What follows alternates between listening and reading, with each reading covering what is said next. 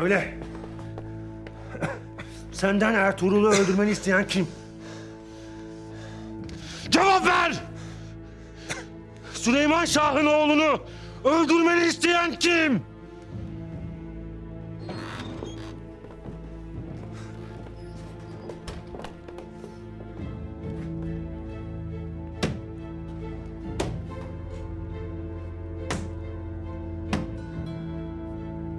Hala konuşmadın mı bu alçak? Konuşacak elbet. Bak yalnız olmadığını biliyoruz. Sana sarayın içinden yardım eden kim? Söyle ona dayıcığım. Eğer konuşursa hayatını bağışlayacağım. Cevap ver. Sana Emir'in misafirini öldürmen için kim yardım etti? Sen yardım ettin.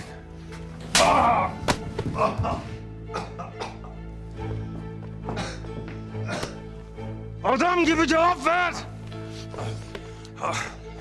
Sana yardım eden kim? Kim? Sana kim yardım etti? Elaziz'in Atabey'i Şahabettin Tuğrul yardım etti.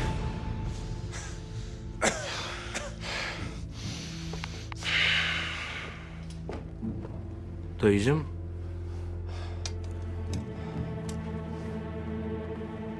Adam ne diyor?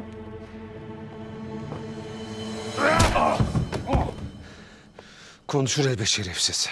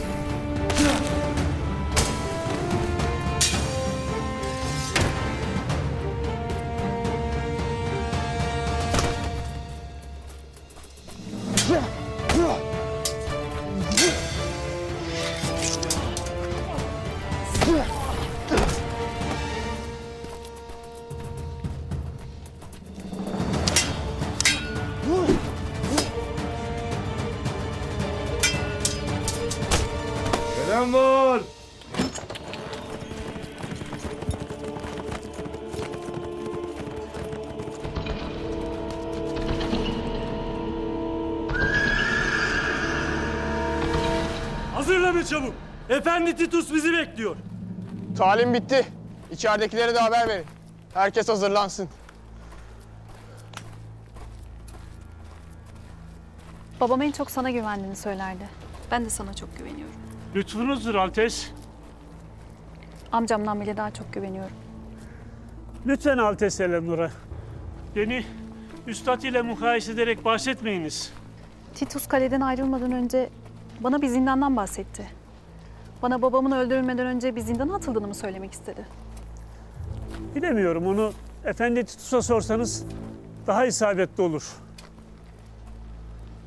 Babam ölmeden önce sen hep onlaydın. Ama bana bir zindandan bahsetmedin. Belki de... Belki de babam hala zindanlardadır. Gerçeği bilmeye duymaya hazırım Mario. Hayır bu ikiniz için de... İkimiz? Babam ve ben. Hayır hayır ben siz ve Efendi Titus demek istemiştim. Sen de bana yalan söylüyorsun.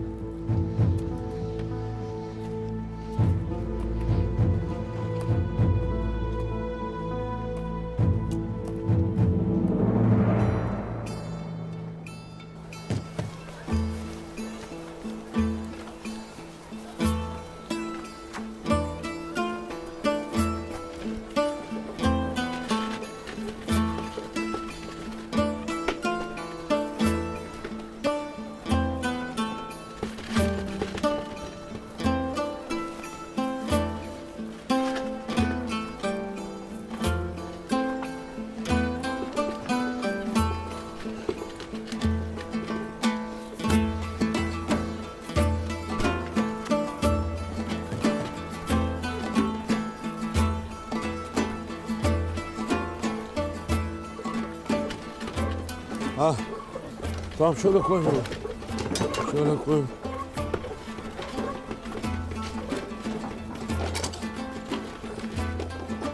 O hazırsa şu çaputları sökün.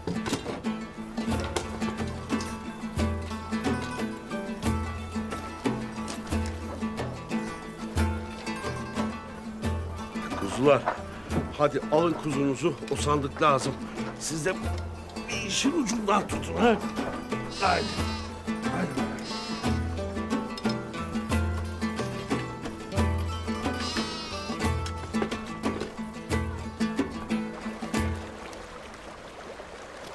Ulan İsliteke.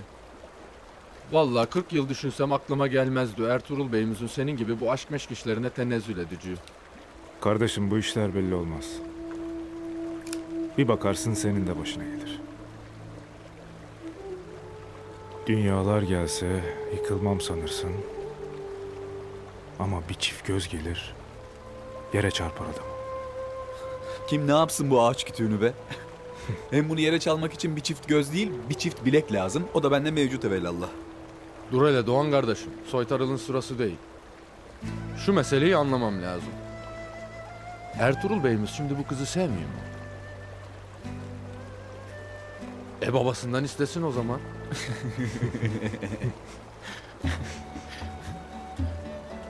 Bu işler o kadar kolay mı kardeşim? Anlamıyorum. Ertuğrul Bey'imiz isteyecek de babası vermeyecek mi?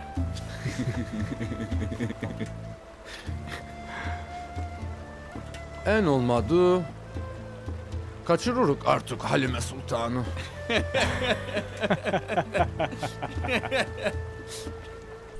Neler söyler gönlündeki? E derdini aç ki bildiğimiz bir şey varsa söyleyelim.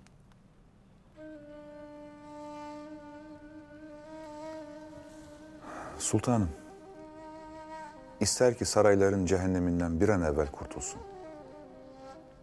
Muhammedi hane-i saadette Rabbi ile meşgul olsun.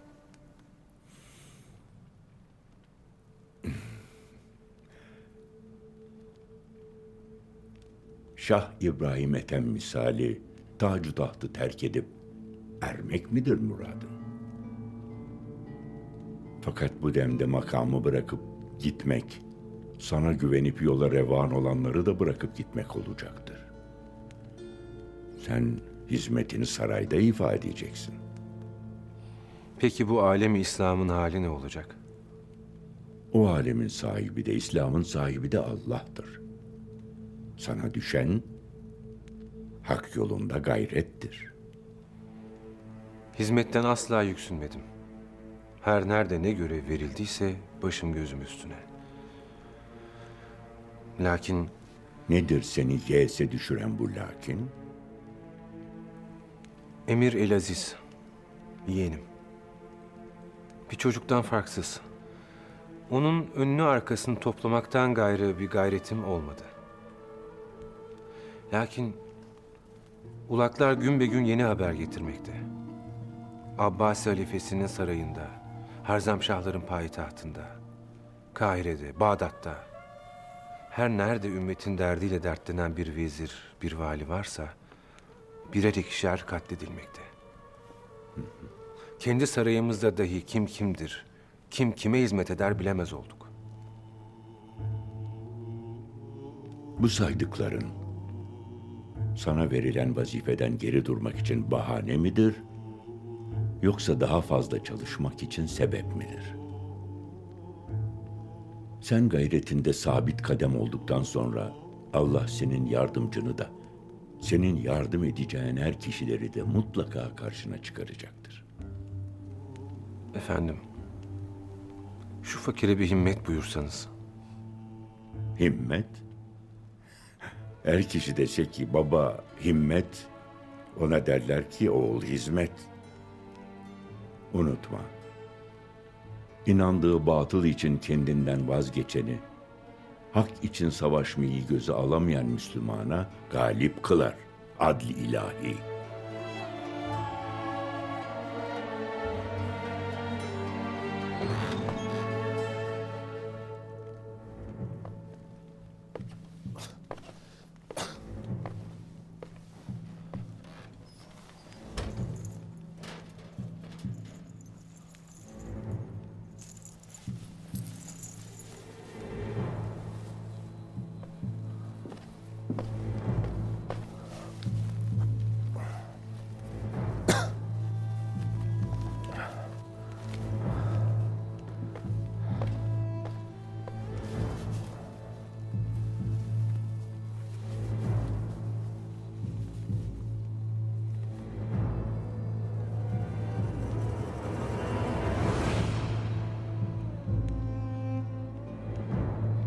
Tanrı'nın oğlu seni cennetindeki krallığında bekliyor. Onun kurtuluşumuz için çektiği sıkıntıları sen de bizim için çektin. İçindeki ne? Argus, bu seni Tanrı'nın oğluna kavuşturacak. Beni bir daha gördüğünde Tanrı'ya kavuşma vakti gelmiş demektir.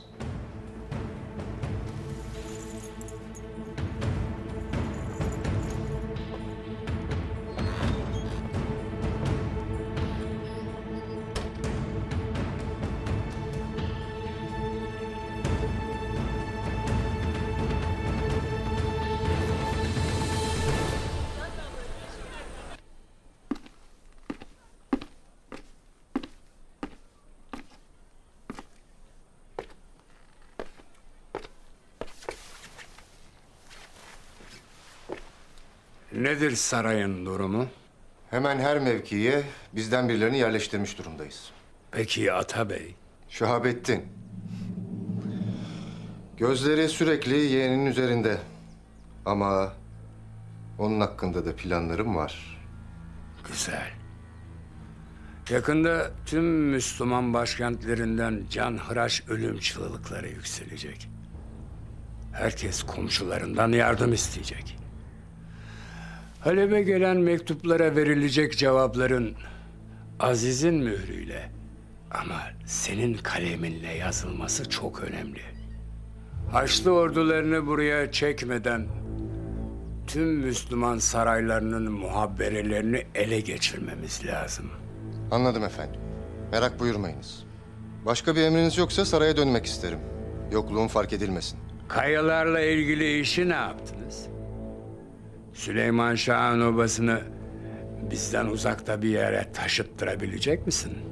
Atabey Şahabettin'le ilgili işi halledince o mesele de kendiliğinden hallolacak efendimiz. Titus da buna benzer şeyler söylemişti. Kayılar asla burnumuzun dibine gelemeyecekler demişti. Ama bugün yarın yola koyuluyorlar. Efendim, kayıların sınırdaki varlığı neden sizi bu kadar tedirgin ediyor? En fazla 2000 süvari çıkartabilecek bir oba için neden bu kadar endişelisiniz? Ben Antakya Kudüs yolunu yeni bir Haçlı seferi için hazırlarken istediğim en son şey bu civarda yurt tutan savaşçı bir Türkmen kabilesidir. Bugün kayalara göz yumarsak yarın göz açtırmazlar bize. Selahaddin Eyyubi'yi unutma. O Irak'taki binlerce çiftlikten bir çiftlikte doğdu. Sonra Nurettin Zengin'in komutasında asker oldu. Yükseldi. Yüzlerce komutandan bir komutandı sadece. Sonrasını biliyorsun. Onu vaktiyle engelleyebilseydik... Kudüs bugün hala bizim ellerimizde kalırdı. Ben de senin gibi adamlarla uğraşmak zorunda kalmazdım. Anladım efendimiz.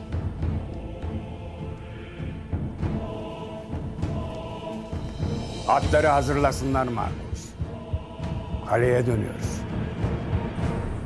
Bir zamanlar Bağdat'ta ünlü bir marangoz varmış. Ömrünün ahır zamanında çok güzel bir minber oymuş. Ama çok güzel. Sedef kalkmalı. Ceviz ağacından. Alımlı mı alımlı. Her gören onun güzelliğiyle büyüleniyordu. E bu güzel minberin namı aldı yürüdü. Öyle ki Bağdat'a her gelen ona gidip şu minberi bize sat falanca camiye götürelim. Onun verdiği cevap da hep aynı. Hayır diyordu. Bu minber Mescid-i Aksa'da duracak. Ahali şaşırıyor tabii. İyi de Kudüs Haçlı işgali altında. Marangoz yüksünmeden hep aynı cevabı veriyordu. Benim elimden gelen bu. Ben zanaatkarım. Minber yontarım. Bir baba yiğit de çıksın, Kudüs'ü geri alsın, bu minberi de yerine oturtsun. Şöyle böyle derken bu minber hikayesinin konuşulmadığı hiçbir şehir kalmadı. Herkes minberin güzelliğini bire beş katarak birbirine anlatırken aynı hikayeyi 7-8 yaşlarında bir çocuk da işitti. Ama o eserin güzelliğinden ziyade müessirin vasiyetine kulak verdi. Aradan 40 yıl geçti. Ve o minberi durması gereken yere Mescid-i Aksa'ya yerleştirdi. Diller onu Selahaddin Eyyubi diye andı. Bu işler böyledir. Biz o marangoz misali yeni minberler yontarız. Bizim emanetimizi yerine koyacak er kişiler elbette çıkacaktır.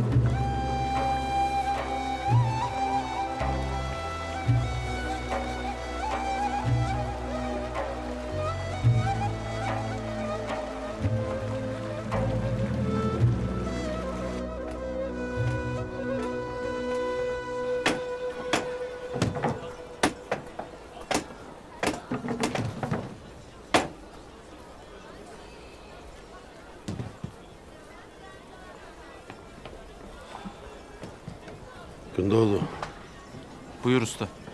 Süleyman Şahım seni toyda görseydi gurur duyardı. Bil istedim. Eyvallah.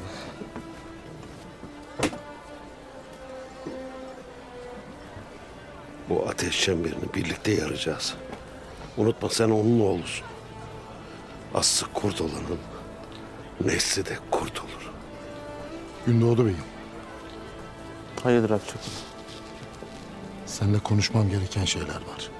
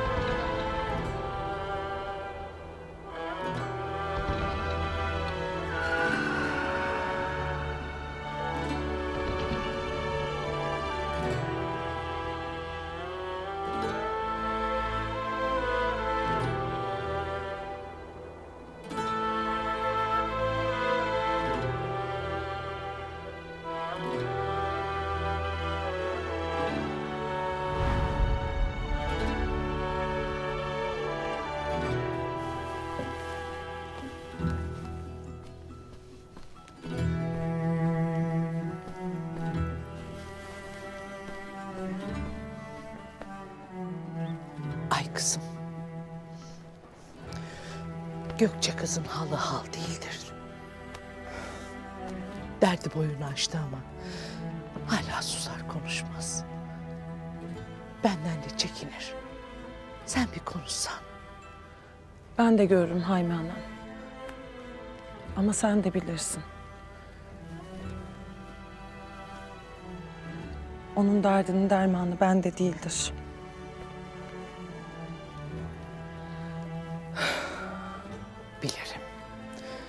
Bilirim de.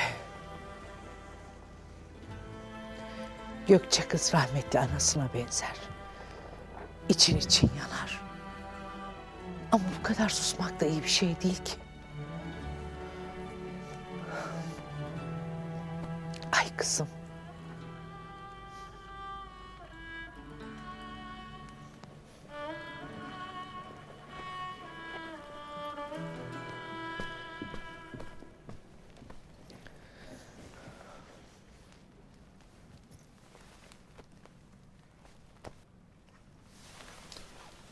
Gökçe.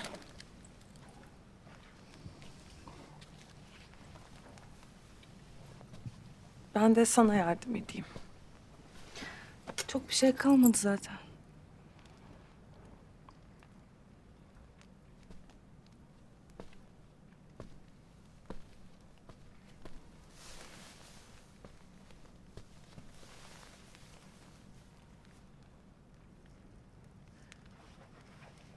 Sen şimdi Ertuğrul Bey'i suçlarlar diye üzülürsün. Üzülme. Gerçek elbet ortaya çıkar. Çıkar elbet.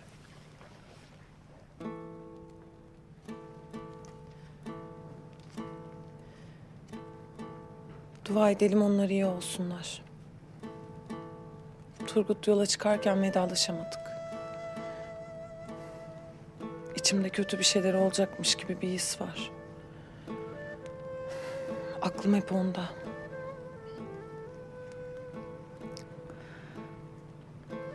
Umut en büyük korkuların bile ilacıdır ay kız. Sen de bilirsin. Turgut obaya dönecek. Obaya dönmesi sana dönmesi olacak. Sevdiğine kavuşacaksın.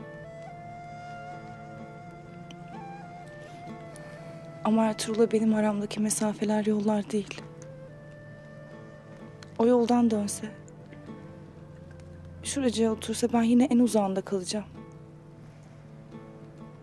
Aşılmaz dağların ardındaki bir güneşe bakar gibi ona uzaktan bakacağım.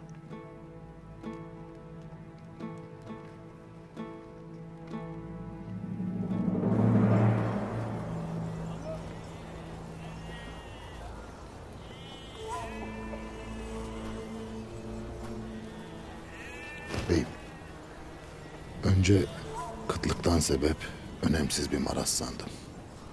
Lakin vaziyet vahimdir. Nedir kanaatin? Veba.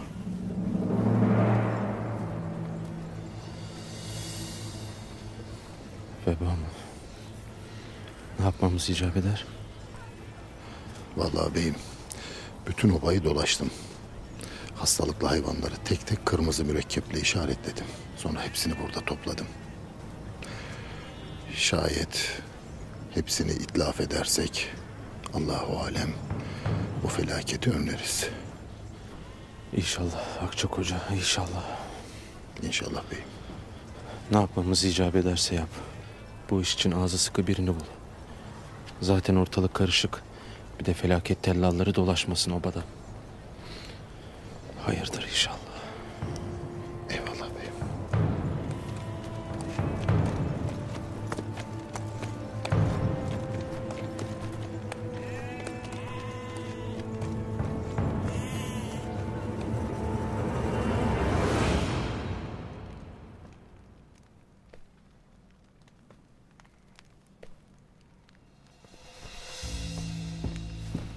Ortalık zaten çok karışık. Neden beni buraya çağırtırsın Selcan Hatun? Beni gördüğüne ne telaşlanırsın Kurdoğlu. Sen asıl Süleyman Şah uyanınca ne yapacaksın onu düşün. Benim değil. Babasının yokluğundan faydalanmaya çalışan kocanın derdidir bu. Sen beni toyda inandırdığın beylerden belledin. Ne işler karıştırdığını bilmez miyim? Boşuna nefesini tüketme de bana de hele. Gün doğduğu toyda hallettin. Süleyman Şah uyanınca ne halt edeceksin? Sen buna kafanı yorma Selcan Hatun. Ben bir yolunu bulurum. Süleyman Şah yarın yola çıkacaktır. Halep'e derdine derman bulmaya gidecekler. Eğer tekrar ayağa kalkarsa sen o zaman düşün. Ne demeye getirirsin? Gönlündeki sözü tas tamam açık et hele. Yatağında ateşler içinde kavrulan Süleyman Şah'ımız maazallah bu gece Hakk'ın rahmetine kavuşsa ben bile Azrail'den bilirim bunu. Taziyesini tutar, mezarının başında ağlarım.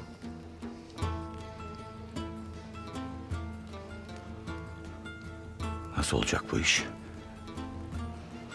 Bu gece gün doğdu ve Haymana'yı çadırdan uzaklaştıracağım. Gerisi sana kalmış. Süleyman Şah ölürse ben babamın intikamını almış olacağım. Sen de kayının beyi olacaksın.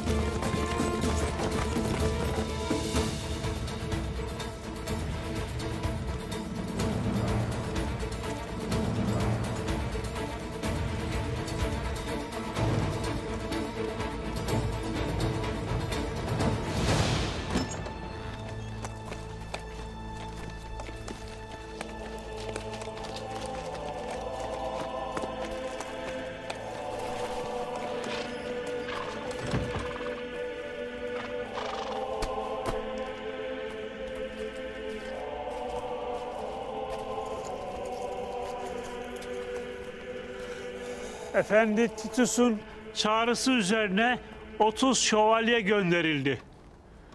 Efendimiz, odanızda Vatikan'dan gelen misafiriniz var. Sizi bekliyor.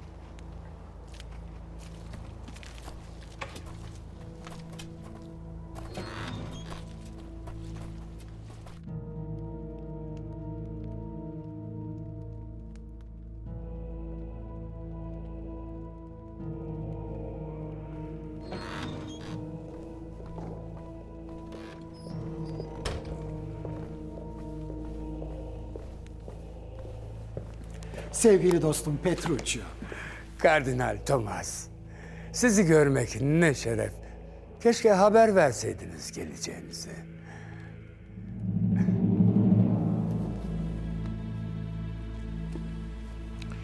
Halep kaçamağınızı bölmek istemedim. Kutsal babamızın gören gözü, işiten kulağı olmaya devam ediyorsunuz. Papa Hazretleri çalışmalarınızı takdir ediyor. Ama sana karşı şüpheleri var. Haçlı seferlerinin yeniden başlayabilmesi için ikna edilmesi gerekiyor. Nasıl ikna olabilecek? O kafir Muhammedilerin bizden çaldığı kutsal emanetleri geri almalısın. Sanırım emanetleri kimde olduğunu gayet iyi biliyorsun.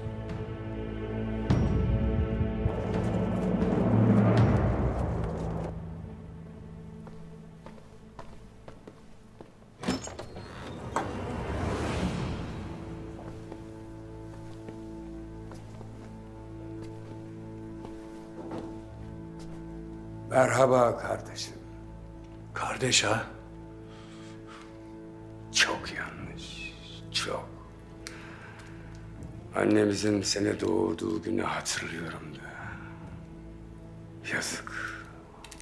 Kardeşler birbirine böyle davranmamalı. Defol git buradan.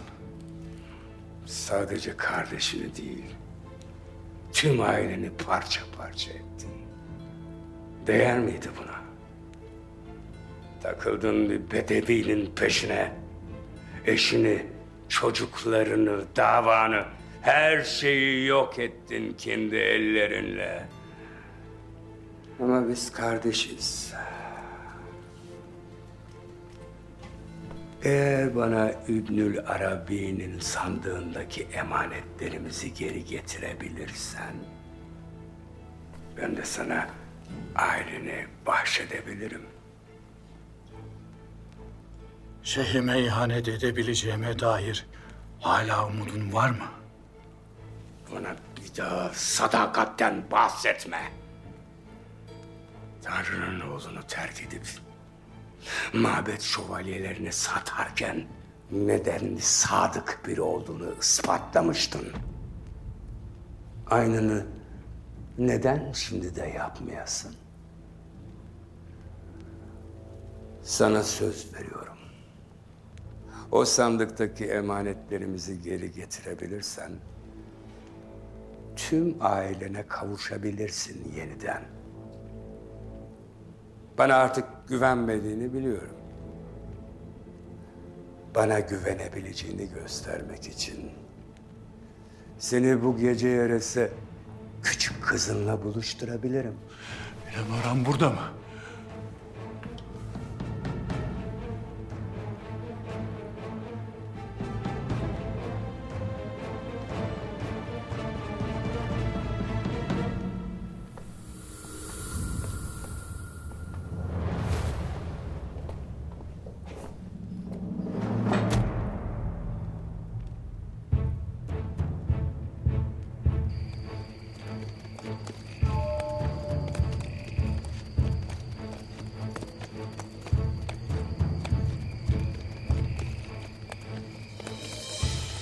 Güzel. Bütün kuşlar aynı kafeste.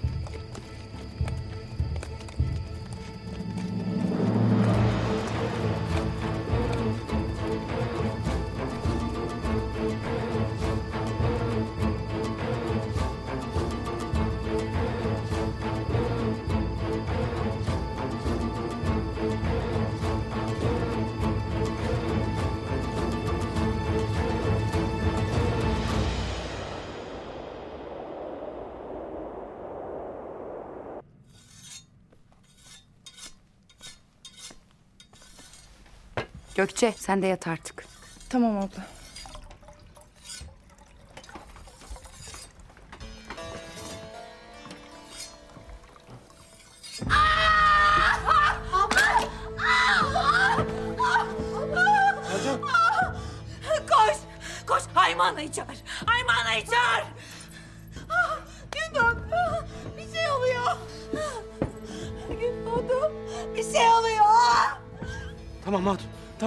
Sabret. Ebe Hatun alıp geliyorum. Geliyorum. Tez yetiş! Tez yetiş!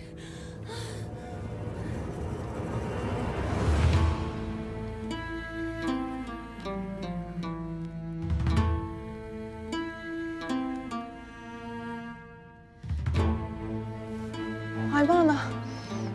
Gel kızım.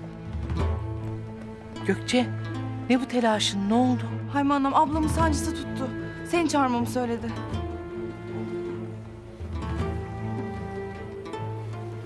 Hayırdır inşallah.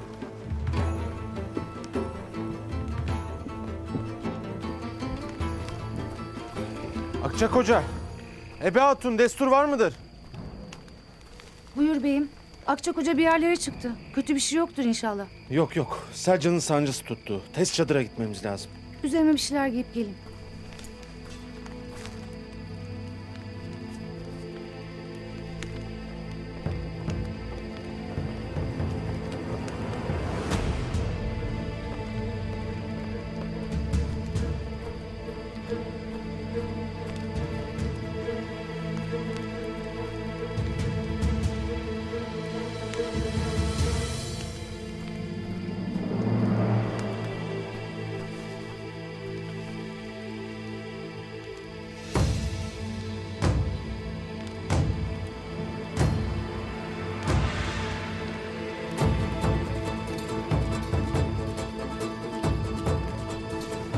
Selcan Hatun gebe midir beyim? İnşallah. Hadi hadi. hadi.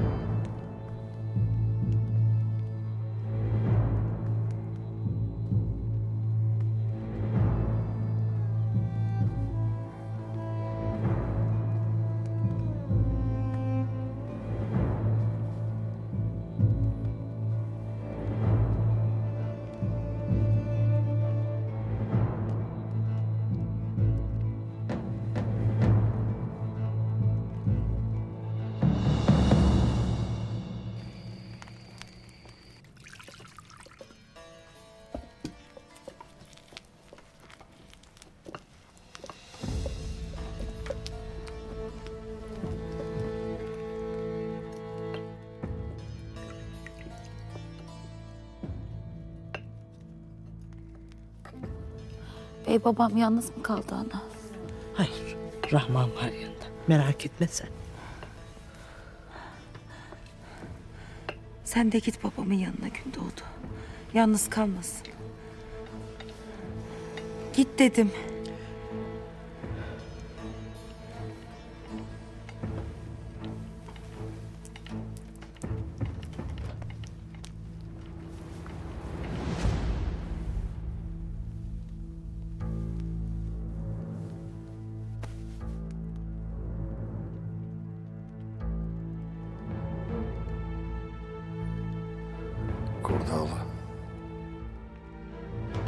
Alplik imtihanını geçtiniz. Kurtlarla, ayılarla, her türlü ölüm kalım tehlikeleriyle savaştınız, obanıza döndünüz. Artık Alplik ünvanını şerefle taşımaya hakkınız vardır. Lakin şimdi almanız gereken ders tüm bu zorluklardan daha mühimdir. Alplik yoklukta karın doyurmak değil, zorlukta dik durmaktır.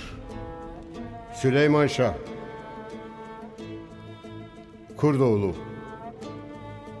Alp Sungur, Tirkeçlerinizden birer ok alın.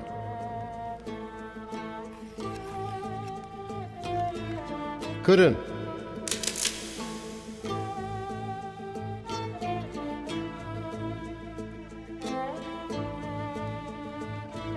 Tirkeçlerinizden birer ok daha alıp bana verin.